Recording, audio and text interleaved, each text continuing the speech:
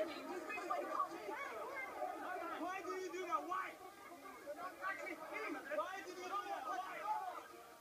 morning, Britain. Breaking news this morning. Terror returns to the streets of London. One person has died.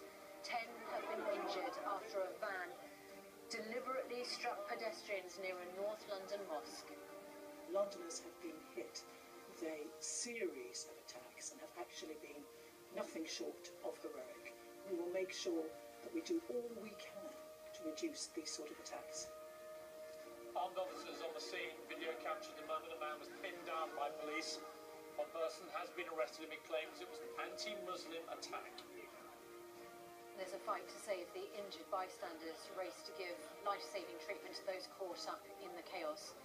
Many of those targeted were worshippers leaving the mosque.